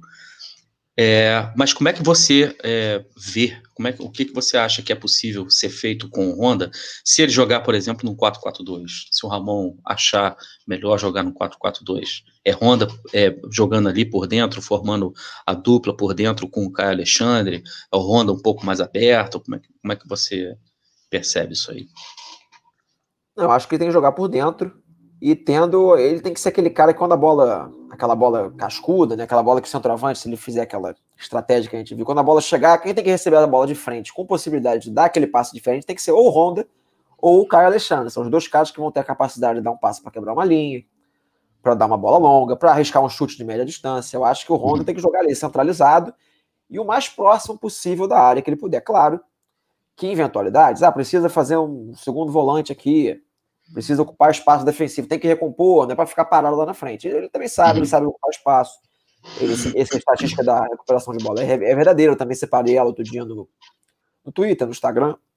Ele uhum. recupera bastante bola, sem ter noção de ocupação de espaço, de desarme. Ele não é bobo nesse aspecto e nem é sem sangue. Ele sabe fazer isso. Mas eu tentaria aproveitar os predicados técnicos dele, né? Parte é. ofensiva de criação. E eu vi um amigo comentou aqui a bola parada, principalmente o pênalti, né? Aquela matéria, saiu até no Jornal Globo, que eu fiz lá do aproveitamento dos pênaltis, ele acertou 17 dos 19 pênaltis que bateu na carreira. Então não tem por que não ser o cara que vai bater os pênaltis, né? Cara, é, é, pois é, mas aquele é, é, o tipo da coisa que não entra na nossa cabeça e também bate na questão é, cultural, né? O Vitor Luiz realmente pediu para bater o pênalti. É, né? mas tem aí tem quem comanda, né? Não é pediu. não, pediu, pois, é, pois é. Aí o Honda, justamente por, por esse traço cultural, né, de, de não confronto, né, de não confrontar, né, digamos assim, acaba cedendo né, a vez para o cara. E o Vitor Luiz, é, digamos assim, bate, até bate bem, é, pênalti, o gol do, do, do, Botafogo contra o Atlético Paranaense lá na, na, na, Arena da Baixada foi dele, pô, de pênalti. Né? É, ele é, mas vinha... o Honda ele, ele teve aquele amistoso contra o Fluminense, que ele também não bateu, quem bateu foi o Raul, isolou a bola também. É, pois é. E faltas, né, cara? A galera reclama muito do, do Honda não ser o, o, principal batedor de faltas. Quando a gente vê o Kevin se aproximando da bola para bater falta, cara, é um desespero, mano. É um desespero. Bom, enfim. É, deixa eu ver se tem. É, deixa eu só terminar aqui de, de, de dar um alô para a galera que está aqui no chat. A gente é, já está é, preparando para concluir o nosso papo aqui. A Raunish Raunish está dizendo muita falta de interesse da torcida, está preocupação, já era para ter um milhão de assinaturas. Deixa eu ver aqui. Tiago Rodrigues também dizendo para mim, Danilo Barcelos estava melhor que o Vitor Luiz atualmente. Primeira passagem do Vitor foi ótima, essa está sendo é, decepcionante. Cara, ele pode até não estar tá tendo o melhor dos desempenhos, mas assim, ele também não é dos jogadores do Botafogo, na minha opinião é, o, o, mais comprometedor, o mais problemático. Eu vejo que o, o, Botafogo carece realmente, e por isso que eu vejo com muito bons olhos a chegada do, do, do Ramon, porque o Botafogo carece de um entendimento técnico. Há bom tempo que a gente não tem. Né? É, o time que o, que o Bruno Lazzaroni montou é, no primeiro jogo contra o, contra o Cuiabá é um time que era muito parecido com aquele time do Alberto Valentim, um time extremamente previsível, estático, os, dois, os dois jogadores presos, bem abertos, presos, principalmente a insistência com Juan, que não fazia o menor sentido a insistência com Juan, jogadores presos, travados ali, é, é, abertos né, pelas, pelas, pelas, pelas pontas, digamos assim. Os laterais não conseguiam fazer passagem porque estava sempre super populoso, né, super é, com, com um excesso de jogadores, digamos assim, pelo, pelos lados, porque não havia uma aproximação, não havia é, triangulação, que é justamente um dos quadros que eu mostrei aqui, que o Ramon Dias gosta de fazer, de construir as jogadas pelo lado, mas tem uma lógica, né, tem uma forma de construir as jogadas pelo lado, né, não é simplesmente você colocar dois pontas abertos, colocar a bola nos dois e vai, se vira, parte para cima do lateral e construa, construa é, a jogada. Isso não, não tem como, né? É, eu tô, eu tô, o, o estagiário está mandando eu fazer a divulgação da entrevista do dia 2. A gente, todo mundo sabe que o Botafogo está passando agora por um período de eleições. Nós convidamos os três é, candidatos à, à, à presidência do Botafogo. Até o presente momento, a gente só recebeu é, uma confirmação que já está marcado, que é o Val, Valmer Machado. Então, no dia 12 de novembro, é o primeiro candidato a ser entrevistado pela Rádio Botafogo, até porque foi o único que confirmou presença, foi o Valmer Machado. Tá? Lembrando, a Rádio Botafogo não tem nenhuma, nenhum posicionamento é, com relação às candidaturas no Botafogo, até porque a gente acredita, e a gente fala isso de uma forma muito clara, que é, qualquer um dos candidatos que, que, que, estão concorrendo no Botafogo, nesse momento, não estão à altura de fazerem, de, de promoverem qualquer tipo de diferença substancial é, na, no profissionalismo do clube, até porque são pessoas que estão já juntas nos mesmos grupos desde sempre, né? Porém, fica aqui o convite mais uma vez feito no ar aos outros dois candidatos, né, das outras duas chapas. Um já aceitou, vai vir aqui no dia 12. A gente repete, reitera o convite para as outras duas chapas, porque é uma coisa que é um serviço que a Rádio Botafogo sempre prestou à torcida alvinegra de entrevistar todos os candidatos a presidente do Botafogo é, uma semana, duas semanas antes do pleito. Então fica aqui mais uma vez é, o convite. E Felipe, cara, tem é, jogador novo chegando no Botafogo. Você também fez o scout dele, que é o Cezinha, né, cara? Conta pra gente um pouco do Cezinha, pra gente terminar, pra gente encerrar aqui, pra eu te liberar também, que você já deve estar tá cansado aí, cara. Não, que isso. O Cezinha, eu fiz a análise dele, foi até antes dessa confirmação, né? Eu fiz, deve ter umas duas, três semanas. Foi assim que surgiu aquela, aquela notícia que já tinha fechado, né? Que faltava só saber quando. Ele chegava bem. O Cezinha, assim, é um jogador com muito potencial. A torcida do Internacional ficou uma arara, que perderam o menino, né? ainda mais da forma que perderam o Botafogo. É um cara, assim, um meia, camisa 10, destro, tem uma boa batida na bola, bem, chuta bem de fora da área, bate bola parada, tem um bom poder de cruzamento. Claro que é um uhum. jogador de 20 anos, em desenvolvimento, nunca atuou como profissional. Tem um probleminha extra-campo, né? Ele saiu fora lá do, do Internacional porque não aceitou voltar para a base. Aí os caras não gostaram dele, quiseram romper, né? Não fizeram muita questão para para manter, mas tecnicamente é um bom jogador, promissor. E da forma que o Botafogo conseguiu contratar ele, né, sem gastar nada, tirar um cara da base do Internacional, que é uma das bases mais fortes do Brasil, achei uma bola de entraça do Botafogo. Normalmente a gente corneta as contratações, né, mas essa eu achei que foi um, uma bola dentro. Tenho certeza que essa veio do, do setor de inteligência. uma, uma coisa que eu fiquei sabendo, uma coisa que, que, que, que eu vi, num, inclusive, num vídeo de um torcedor do Inter, é que o motivo principal pela não permanência do, do Cezinha lá é que ele não aceitou jogar no Sub-20. É. é. né? Foi E ele, ele, não... ele era do Sub-20, jogou uhum. a final do, da Copa São Paulo contra o Grêmio, foi alçado ao profissional, treinou mó tempão lá, o Cudê não utilizou nenhuma vez, falou, volta, volta para a base, depois a gente vê o que faz. Aí ele não quis voltar. Isso. E é, havia essa dúvida, né, se ele viria para o Botafogo para jogar na base ou se ele viria para o Botafogo para jogar no time principal.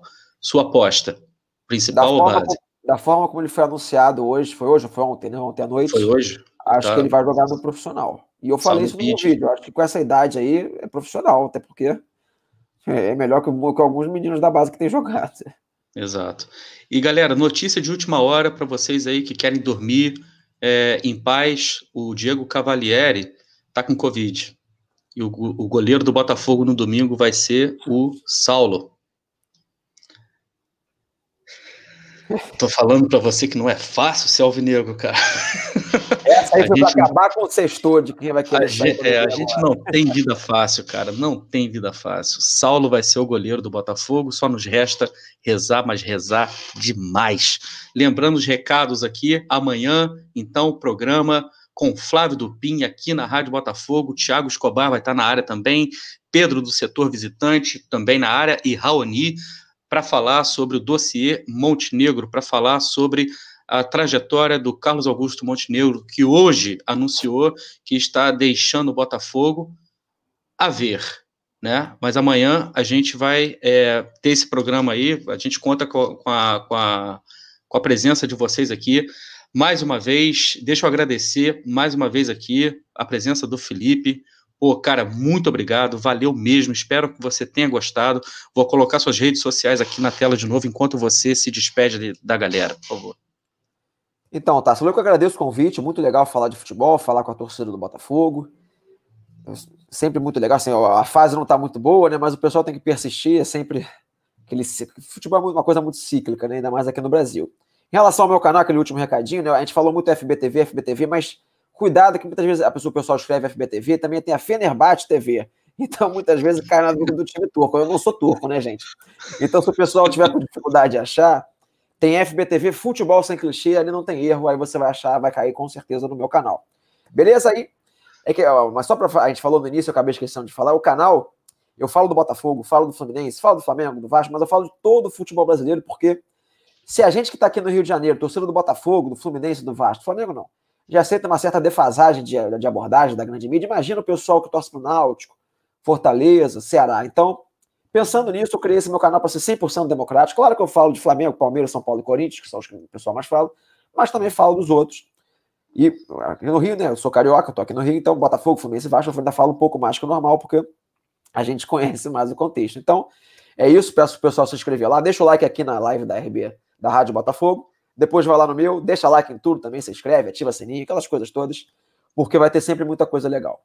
Ó, você já bateu 3.200 inscritos lá que eu olhei aqui agora, tá? Opa, então tá Mas é aquilo que eu te falei, 3.400 inscritos hoje ainda, pelo menos, para a gente ficar feliz, para a gente dormir feliz, é, para agradecer. Porque o procedimento é esse, né? O pessoal tá, for, não ia sair da live, agora que está acabando a live, aí vocês podem sair na paz, não vai deixar Exato. a na mão, aí pode ir lá e. Exato. É exatamente isso, tá bom? É, então, cara, quero te agradecer mesmo a sua presença aqui. É, obrigado e parabéns pelo trabalho que você vem fazendo, trabalho de extrema competência, trabalho muito criterioso, muito técnico. Já, te, já sou seu, seu seguidor lá no Twitter há um bom tempo, já usei informação sua aqui na Rádio Botafogo e dei crédito, tá? Ó, peguei essa informação aqui de um cara chamado Felipe lá no, no Twitter. No Twitter, isso na época do Twitter, quando você colocava as análises no Twitter e no site lá também, eu, eu dava os créditos lá do site também, é sempre importante. A gente, é, nesse momento, a gente sempre, é, é, inclusive, promover né, outros canais, né, mídias alternativas, porque é, a comunicação hoje em dia é verticalizada, né, cara? Não tem mais essa coisa top-down, né? E é extremamente importante é, é, que é, mídias alternativas, o seu trabalho seja muito reconhecido, que você cresça e que é, as pessoas fiquem cada vez é, mais bem informadas pelo seu trabalho, beleza? Show de bola, e é isso. E estimulo todo mundo a dar força também para a Rádio Botafogo, para o pessoal das mídias alternativas, porque se for depender da grande mídia, a maioria dos clubes está ferrado, né? Então, é. vai todo mundo, todo mundo vai fortalecendo o trabalho do outro, até se for de um outro time, de um rival também, se for tudo feito com respeito também, Vamos todo mundo para cima, porque só assim para crescer. É isso aí. Valeu então, boa noite, obrigado, Helenos e Helenas. Fiquem todos com Deus. Até a próxima e fomos!